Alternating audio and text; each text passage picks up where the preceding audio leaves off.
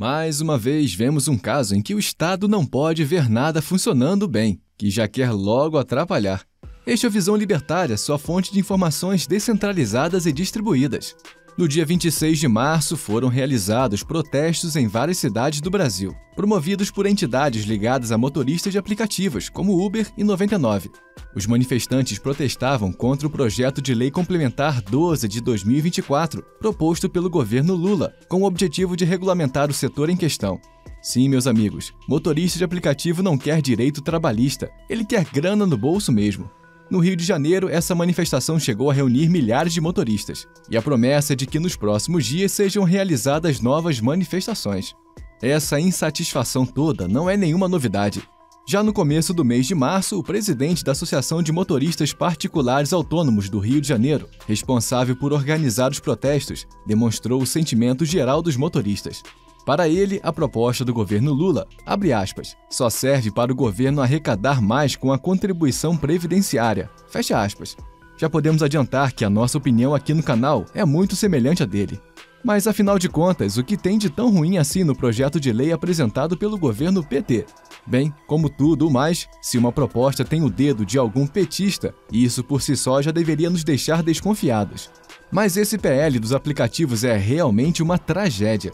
De forma geral, podemos dizer que, caso seja aprovada no Congresso Nacional, essa lei vai instituir uma série de trapalhadas trabalhistas que vai engessar o trabalho dessa categoria, tornando menos rentável do ponto de vista econômico.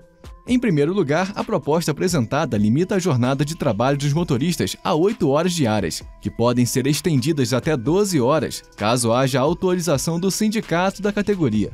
Sim, os motoristas passarão a ser representados por um sindicato obrigatório, uma praga que acomete todos os trabalhadores seletistas na atualidade. É por isso, inclusive, que a CUT, que é basicamente um aglomerado de sindicatos, ficou tão empolgada com esse projeto de lei. Por isso, os motoristas já podem preparar seus bolsos. Caso a lei seja aprovada, eles terão que pagar imposto sindical, contribuição negocial e taxa assistencial para os pelegos sindicalistas. O projeto também prevê um valor mínimo por hora trabalhada de 32 reais, valor esse formado por uma remuneração de 8 reais, acrescida de 24 reais para o custeio da atividade pelo motorista. Existe aí a previsão de um reajuste anual para esse valor, seguindo o índice da inflação. E o mais importante de tudo, essa proposta prevê uma contribuição previdenciária, tanto por parte do motorista quanto das empresas. O trabalhador pagará 7,5% de INSS sobre seu salário de contribuição, equivalente a 25% da renda bruta. Já a empresa terá que arcar com um custo previdenciário de 20% dessa mesma base de cálculo. Não é preciso ser nenhum gênio da economia para perceber que essas interferências estatais no setor trarão mais custos que, obviamente, serão repassados para o consumidor final.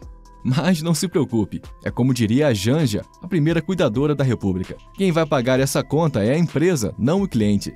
De qualquer forma, você sabe bem como as coisas funcionam aqui no Brasil. O governo não pode ver nada funcionando direito que já quer logo atrapalhar. Não apenas os motoristas de aplicativos criticaram essa proposta estatal, vários analistas já apontam para os problemas dessa possível lei, com destaque para o fato de que, ao que tudo indica, o governo quer mesmo é arrecadar mais grana via contribuição previdenciária. Contudo, o senhor Francisco Macena, secretário executivo do Ministério do Trabalho e Emprego, saiu em defesa do governo. O burocrata em questão afirmou que essa lei não tem qualquer objetivo de aumentar a arrecadação do INSS, nas suas palavras, abre aspas, o que o governo do presidente Lula quer, na verdade, é assegurar o direito previdenciário de todos os trabalhadores. Fecha aspas. Curiosamente, não é isso que pensa seu chefe imediato, o senhor Luiz Marinho, ministro do Trabalho do governo Lula. Segundo cálculos apresentados por Marinho, a regulamentação do trabalho por aplicativos, nos moldes do projeto da lei apresentada pelo governo, renderia a bagatela de 279 milhões de reais a mais para a Previdência Social por mês. Pois é, Fica aí, é claro, a grande questão: de onde vai sair essa montanha de dinheiro todos os meses? Certamente você já sabe a resposta. Parte desse valor vai ser bancada pelo cliente, por meio de tarifas mais altas, e parte pelo motorista, através de uma remuneração menor. Mas afinal de contas, quem foi que pediu por essa regulamentação? Na prática, ninguém. Mas acontece que o governo quer de todas as formas arrecadar tudo e de todos, e por isso ele está atirando para todos os lados. Agora, a bola da vez são os motoristas de aplicativo, que serão duramente penalizados pela sanha arrecadatória do PT.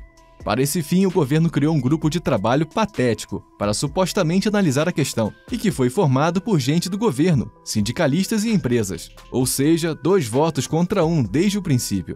Tudo isso, é claro, para ter mais grana e mais controle sobre a população. Ah, mas esse projeto de lei vai garantir uma renda mínima ao trabalhador, alguém pode argumentar. A verdade, contudo, é bem diferente do que esse discurso polido e supostamente bem intencionado faz crer. Estabelecer um valor mínimo vai acabar engessando os ganhos dos motoristas. Nem sempre a corrida vai valer os tais 32 reais por hora. As empresas, portanto, terão que compensar isso, aumentando os ganhos em corridas mais rentáveis, para compensar as deficitárias. Se você já usou esses aplicativos, você sabe que as tarifas flutuam a depender da demanda e da oferta. Às vezes o preço fica bem alto, um prato cheio para os ganhos dos motoristas. Agora, a tendência será que essa variação para cima não seja repassada para o motorista, para compensar eventuais perdas. Ah, mas agora os motoristas terão direito a uma jornada de trabalho igual ao dos outros trabalhadores. Mais uma vez, quem foi que pediu isso? Como em qualquer outra área da vida humana, no trabalho por aplicativos também a liberdade é fundamental. O tempo é do motorista. Ele faz o que bem entender com ele. Se o cara quiser trabalhar mais horas por dia para levantar uma grana, qual é o problema?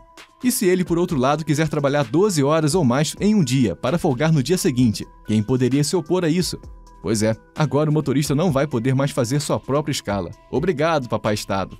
É certo que ninguém acha bonito pessoas trabalhando em jornadas extenuantes para receber uma micharia, mas de fato, não é essa a realidade que temos visto no trabalho por aplicativos.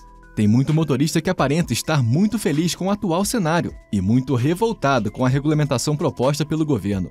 Afinal de contas, se as condições do Uber e afins fossem tão ruins assim, por que as pessoas ainda estariam trabalhando nessas plataformas?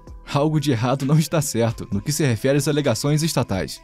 A verdade, contudo, é que todos os problemas apresentados em relação a essa modalidade de trabalho são resolvidos pelo próprio mercado. O que vemos no trabalho por aplicativos é uma forma bastante eficiente de aproximar o desejo dos clientes com as necessidades dos profissionais. Por um lado, o consumidor desse serviço tem a liberdade de aceitar ou não tal serviço, pela taxa estipulada. Se ele solicita o motorista pelo preço apresentado, isso significa que ele concorda com o preço e as condições oferecidas. O mesmo se diz do motorista, que por sua vez aceita fazer a corrida pelas condições oferecidas pelo aplicativo. Não é à toa, portanto, que tanta gente trabalha nessas plataformas. Segundo informações mais recentes, seriam mais de 1,5 milhão de brasileiros trabalhando por meio de aplicativos. Tanto para aqueles que complementam sua renda fazendo corridas como Uber, como para aqueles que têm nessa atividade seu ganho principal. O atual cenário é muito bom. E o projeto de lei apresentado pelo Lula e sua equipe, por sua vez, é uma porcaria completa. Agora, é importante frisar que, ao que tudo indica, esse projeto foi um meio termo costurado pelo governo petista. Após longas e acaloradas discussões, chegou-se a esse texto apresentado ao Congresso Nacional, que termina por ser bom para muita gente. É bom para o Estado, porque representa mais impostos e controle sobre os trabalhadores e sobre a população de forma geral. É bom para as centrais sindicais, porque novos sindicatos serão abertos a fim de representar essa categoria. E é bom até mesmo para as grandes empresas, que ficam livres de uma vez por todas do risco do reconhecimento do vínculo trabalhista por CLT, com a configuração legal dessa nova modalidade de trabalho. Mas, de forma geral, esse projeto é péssimo para os trabalhadores. O que resta por hora é continuar protestando e, de certa forma, torcendo para que o Congresso Nacional não aprove essa catástrofe. Do contrário, esse trabalho, tão vantajoso na atualidade para os motoristas, se tornará inviável do ponto de vista econômico, ou, na melhor das hipóteses, menos rentável do que era antes. Mais uma vez, ninguém pediu por essa regulamentação, mas o governo fez a revelia dos supostos interessados, os motoristas, visando apenas seu próprio benefício. Infelizmente, essa é a hipocrisia do partido, que supostamente mais se preocupa com os trabalhadores. Se isso fosse realmente verdade, o PT deveria promover não a regulamentação, que destrói empregos e compromete a renda, mas sim a liberdade. Obrigado por sua audiência. Este artigo foi sugerido por JJ Liber, escrito por Quintessência, revisado por historiador libertário e narrado por Paulo Wesley. Escreva artigos você também. Acesse visãolibertaria.com. Se você gostou do vídeo, compartilhe em suas redes sociais. Caso deseje ser avisado de outros vídeos, inscreva-se no canal e depois clique no botão da campainha. Até a próxima!